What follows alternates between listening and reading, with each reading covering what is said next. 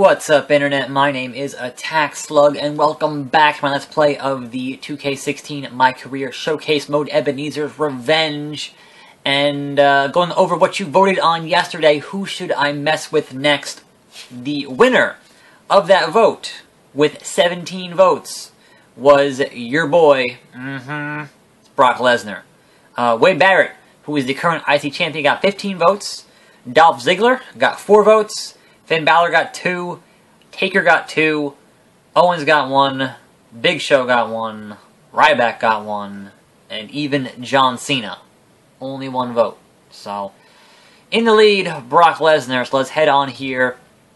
Let us, uh, we're not going to lose to R-Truth, because uh, I'll get a five-star match and lose to R-Truth. No, that's not going to happen. So let's, uh, go in here with Brock Lesnar, Finn Balor, which seems like a, like, that's a match I want to see, but it seems like such a weird uh, mismatch. So we're going to run in during the entrance. We're going to attack Brock Lesnar. We're going to attack him at left ringside. Haven't done that. Haven't done that one before. So something different. Uh, let's go to my match here against R-Truth. Now, of course, the fun fact here is that I actually beat Wade Barrett uh, right before he he won that belt. Like I beat him on SmackDown. That that that was the first back yesterday. Beat him on SmackDown, and then he won the belt at SummerSlam. So that kind of seems par for the course for Wade Barrett. He, he, he, tends to lose a lot, which, which which is a shame, you know.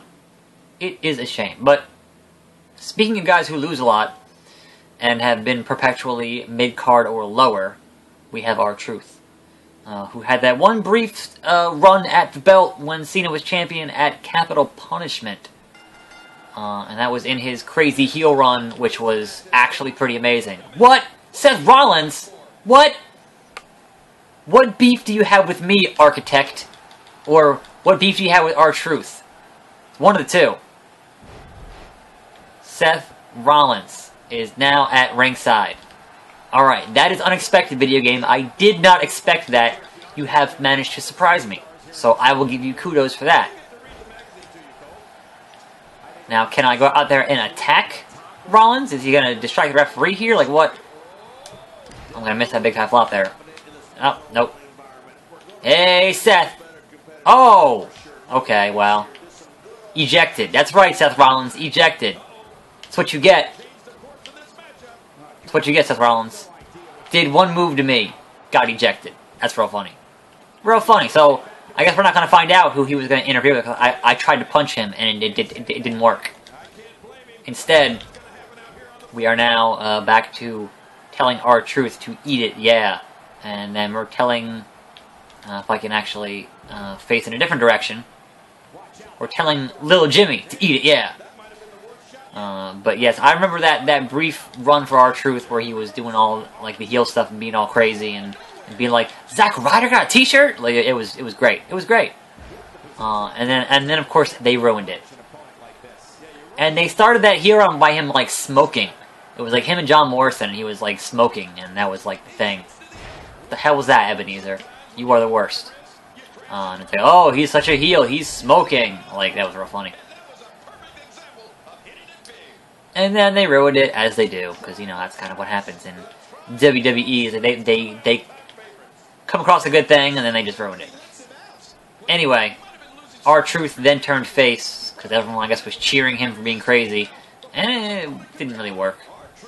It didn't work. He brought out little Jimmy. It was dumb. The whole point of the R-Truth thing and little Jimmy was making fun of all the John Cena fans. That's why it worked. Turning it into a face thing didn't really work. And that's unfortunate.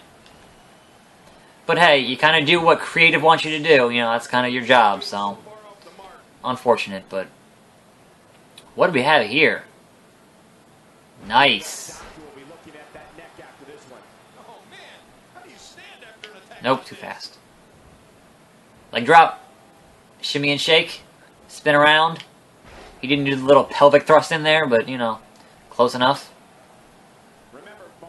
Oh. Come on now, R-Truth, really? Whoa, that was fast. I just lost R-Truth. That meter was going way too fast. Way too fast. And I just lost to R-Truth. So how bad does that make me look? I lost to R-Truth. I... Not as bad as losing to Curtis Axel.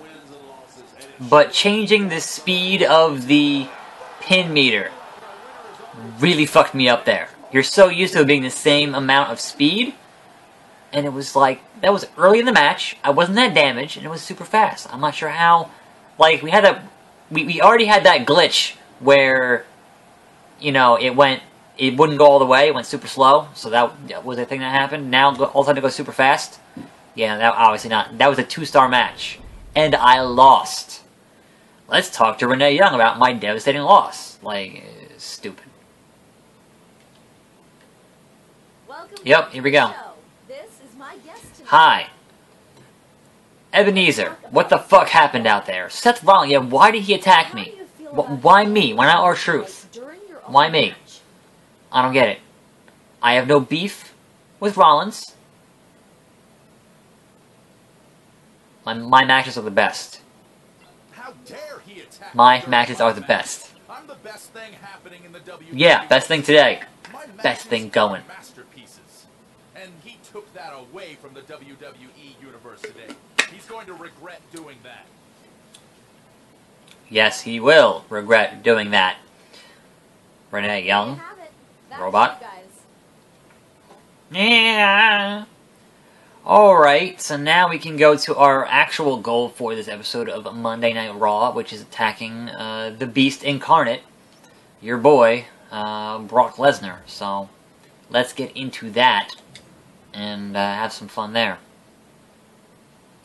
And see see whether or not that's, that, that gives us, you know, a couple of bars or actually starts up a feud with Brock Lesnar. Or if we get sidetracked and end up in a feud with Seth Rollins, which wouldn't make any sense. But, you know, if he keeps assaulting us for no reason, or interrupting our matches for no reason, then, you know, certainly I can see how the game would say, yeah, you're gonna feud now, and sure, fine. That, stranger things have happened on this show. Stranger things have happened, uh, in how the game has treated us thus far in the My Career mode, but this is taking a bit to load here, because of course it is. So here comes, bow, bow, bow, bow, boy, boy, boy, boy. And as usual, no music, because, you know, copyright content ID on YouTube. That's kind of what it is. No, what? No Paul Heyman? Like, where's... Where's Heyman? There's Pyro. Where's Paul Heyman? Like, you can't have Brock in 2015 without Paul Heyman. That doesn't make any sense. Alright, well, whatever. At some point, we're, we're gonna get we're gonna get an X button here, and I'm gonna be able to attack uh, Mr. Lesnar here, who I'm sure will not appreciate being assaulted by a short, fat man uh, wearing... Out of the crowd! That's awesome. That's awesome. Screen tearing, though. Hey, Brock. Hey, boy. Yes, get him in that... Get him in that Vulcan nerve pinch. That's how you fucking do it. Should have picked him up. Now, Brock, if he was actually Brock here, he would just get this finisher here, and then just completely no-sell it. Just get up and be like, what? I'm Brock motherfucking Lesnar. What are you going to do about it? Uh, but that is how we make a statement here. Yep. Back body drop. Clothesline from... Nope. Nope. That's, yep.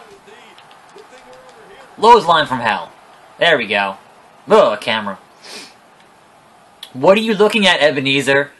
Alright, so five bars for Lesnar. Uh, and we see Bray, Rowan, Connor, Harper, Sheamus, all that kind of two bars for whatever reason. Uh, and here is Renee Young once again talking to us twice in the same show. Hey Renee, never mind about uh, Seth Rollins, never mind about uh, R-Truth that, that devastating loss. Let's talk about Brock Lesnar. I don't like that boy. What is the meaning of this? They should cheer for me. They should cheer for me. I'm tired of the WWE universe yep. cheering for him. it's me. It's me. It's the big EB. It's me. I'm the real deal. I'm the future of I'm Titus O'Neil, the real deal. Aura, aura, aura. Everyone out there is too dumb to realize that. I'll have to make them realize it. You'll see soon enough. Soon enough. Alright, Cole, back to you. There is a lot Oh. of tension brewing between you two. Two questions. What's I'm, I'm, on there? I'm in shock. Uh, he better run. Yeah, there is tension between us. Tension that's going to end soon. That text is not properly formatted for this TV. It's, it's weird. sights, And I'm not going to quit until he's done for. Four. I know you can hear me out there. You better run. I know you can hear me, boy. Get in the ring with me because it will be your last match. Sure. Thanks for the time. Back to you.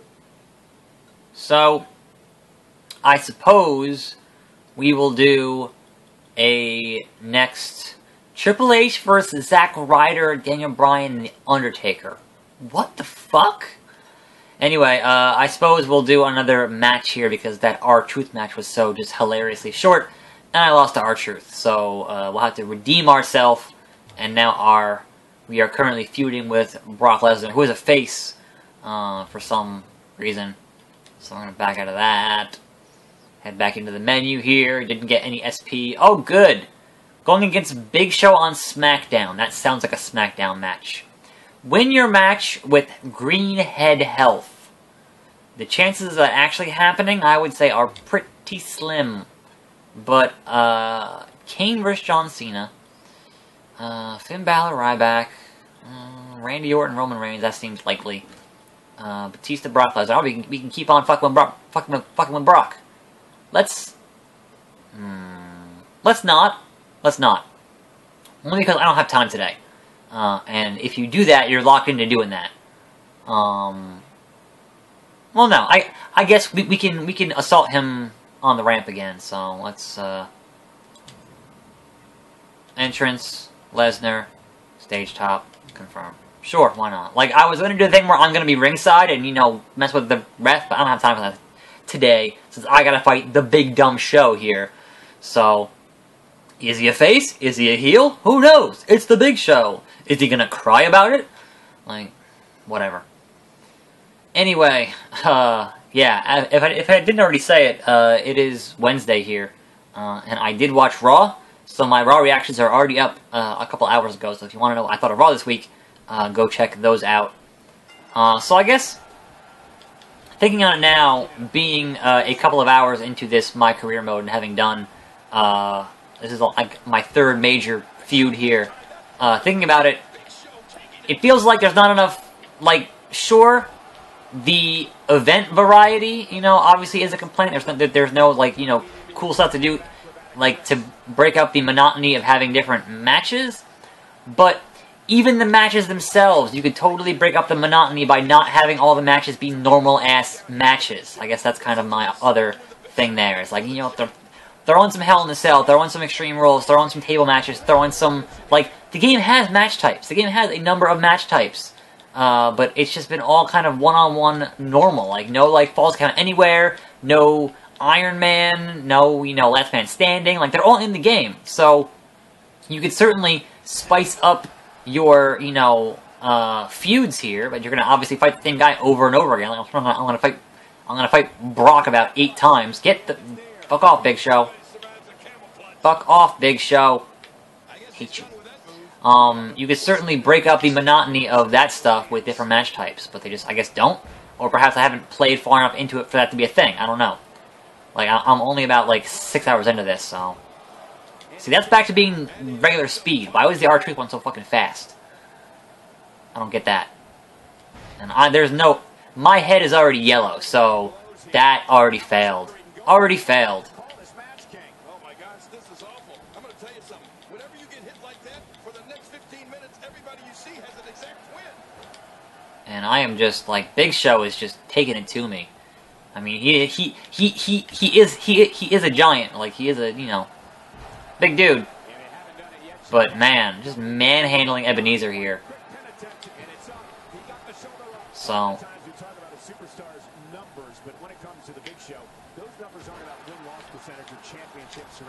Sometimes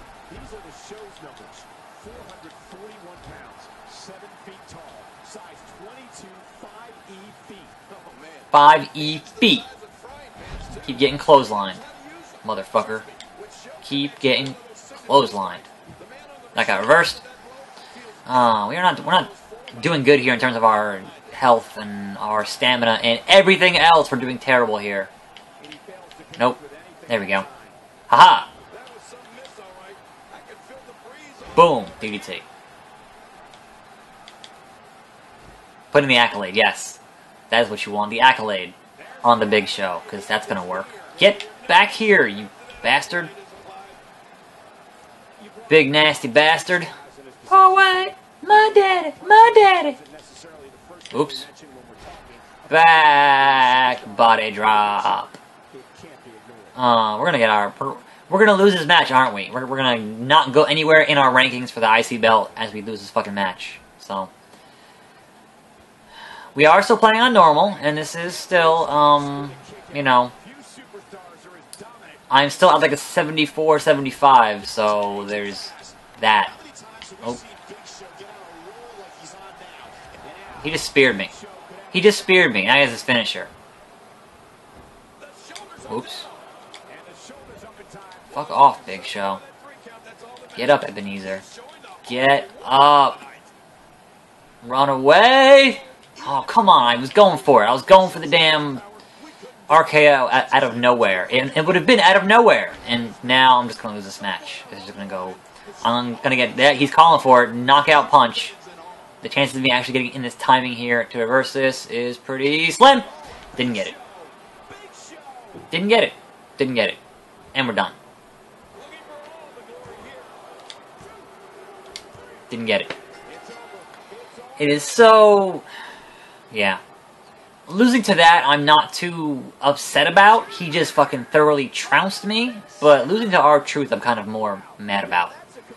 So it's been a pretty good day here, losing our matches and attacking Brock Lesnar. So let's go attack him one last time before we end this, uh, before we end this video, which has been, uh, yeah.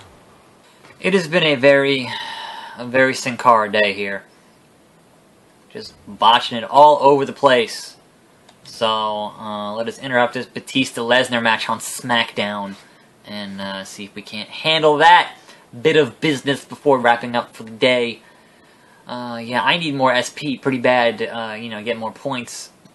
Because playing on normal is, at this point, being on the main roster, even though I beat The Rock, uh, it is kicking my ass today. So, uh, there is that. And obviously, you know, we have goals to meet to eventually get into the Hall of Fame and end this career mode. You know, how far off that is, I don't know. It could be months um, of this stuff. So, Atlantic City, New Jersey, appropriate for somehow, some reason, for, for Ebenezer, would be in his home state to once again, once again, no Heyman. Once again, no Heyman. So, hey Brock, running in. How you doing?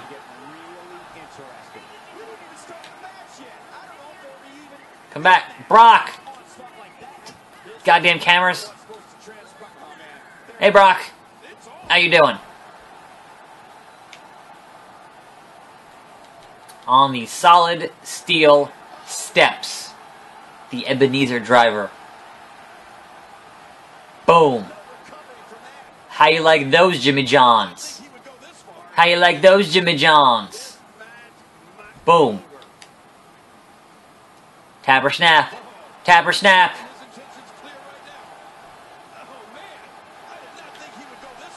Oh, you reversed it. That could be a problem. Oh. Boom. No, I'm looking at nothing again. Fantastic. What are you looking at?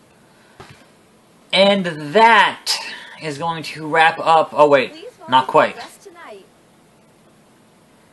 Let's talk about Yes. Let's talk about Brock. What was the meaning behind your attack on him tonight? Because I felt like it. He's an easy win. He's an easy Such a fucking dick thing to say. To the WWE universe that I can beat what I beat The Rock. Top tier superstars without any effort at all. I'm gonna show the WWE universe that all their heroes, all the superstars that they look up to, are nothing but overrated trash. That's what's up. Thanks for the time. Back to you. And that is going to wrap up our day here in the My Career mode for 2K16 on the PS4. Coming up tomorrow on Monday Night Raw is going to be Ebenezer Jack Swagger. Now, is Swagger actually in the contention for the IC title here? Uh, he is not. So, Kidd, Fandango, Goldust, Luke Harper, Neville, Ziggler, Ryback, Sheamus. So I'm assuming fighting one of those guys is gonna is gonna increase my ranking. I don't actually know. Uh, and our authority goal here is to win your match with a red head health. That seems plausible. That totally seems plausible, considering how much I get my ass kicked. So, look forward to that tomorrow. I am your host, Attack Slug, and I will see you next time right here on this channel. And I'm out.